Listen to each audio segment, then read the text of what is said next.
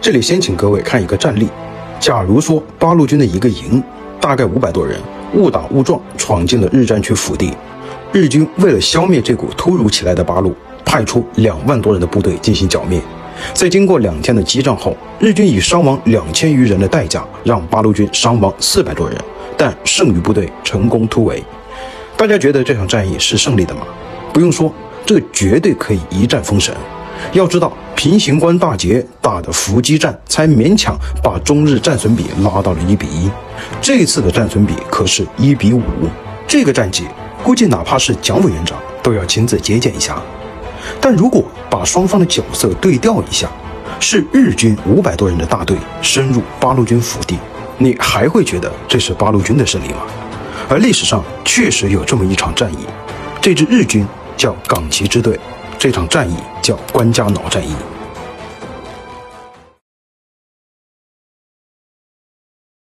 大家好，我是真实局。看过《亮剑》的朋友，对于山崎大队这场战役一定不陌生。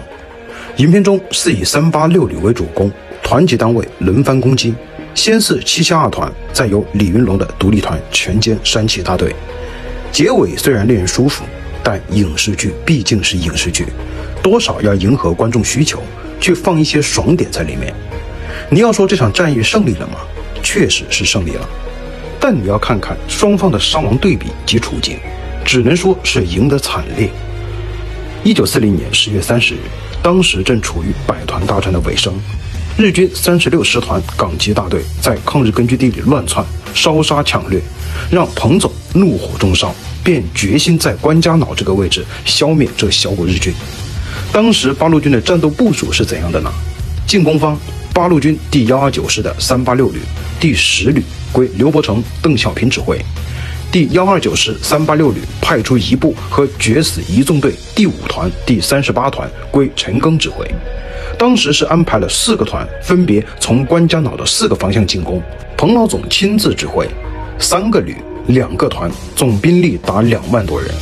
防守方。日军港崎大队总人数大概五百一十人左右，指挥员港崎千长固守关家岛阵地，居高临下进行防守待援。这里先说结果，在四十比一这样的兵力差之下，换而言之，就是在两万多人轮番攻击下，港崎大队伤亡四百多人，最后仅剩几十人，还是坚持到了援军赶来。八路军这边则是伤亡两千多人。有人可能不敢相信，感觉这和电视剧上的宣传不一样啊。但很遗憾，这个就是真实的历史。那为什么会有这么大的差距呢？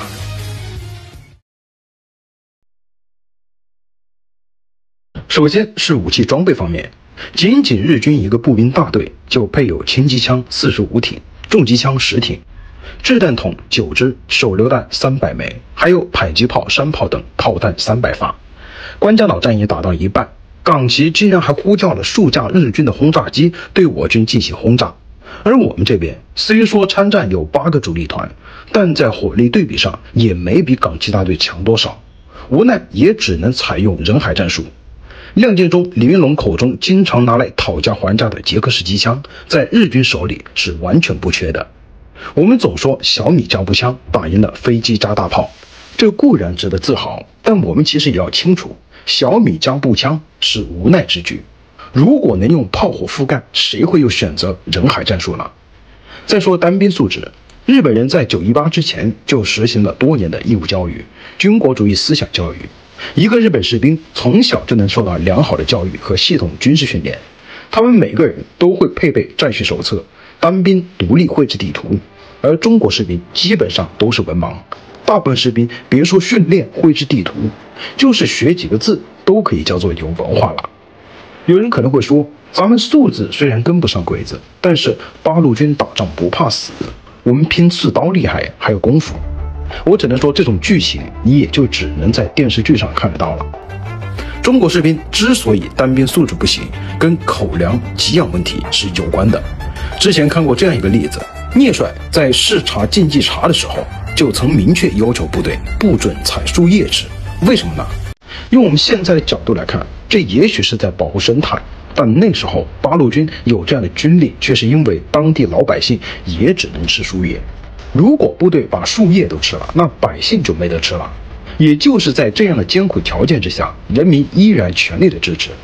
过去有一句这样的谚语：“最后一碗米送去当军粮，最后一个娃送去打东洋。”其实这场关家脑战役在很多电影电视剧都是有体现的，但说实话，没有一部是真正把其中的残酷给体现出来。换句话解释，都是从政治立场出发进行改编过的。为什么说《亮剑》是一部良心电视剧？因为至少在《亮剑》中，山崎大队长是被手榴弹炸死的，这和历史上半差不差。但没有讲的是，在炸死主要几个指挥官以后，日军剩余官兵在没有统一指挥下，依然能够坚守自己的岗位六个多小时，顶住几千人轮番攻击，直到援军赶来。我看过很多史料上总结这段战役结尾的，基本上说的都是，冈崎大队基本被消灭殆尽。指挥官击毙，剩余残敌在援兵接应下，携遗失两百八十具仓皇逃走。而真实情况却是，八个主力团两天轮番攻击，在付出惨重的伤亡代价后，虽然将日军基本上给打没了，但我们还是不仅阵地没攻破，最后还被其逃走了。讲到这，可能会有朋友觉得我是在讽刺。说实话，查询这段史料的时候，我是很气愤的，同时也很无奈。因为在真实的抗战历史逐渐模糊的今天，想清晰地认识到抗战的艰难，理解先烈们的伟大有多难。本期视频真史君也是想让大家清楚，抗日战争并不等于电影电视剧，不是施展点中国功夫杀鬼子于无形，也不是搂着心爱的姑娘一边秀恩爱一边打鬼子。抗日战争一点都不浪漫，一点都不有趣。很多时候，我们中国军队付出巨大的牺牲，换来的却只能是关家脑战斗这样令人叹息的战果。